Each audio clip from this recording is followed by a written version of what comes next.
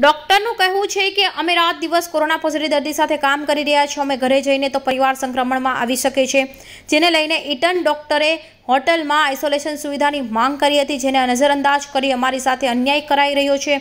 જ્યાં સુધી અમારી માંગ પૂરી થાય, ત્યાં સુધી કોઈ પણ ઇન્ટર્ન ડોક્ટર કામે નહીં ચઢે એવો નિર્ણય કરી હડતાળ પર બેસી ગયા છે.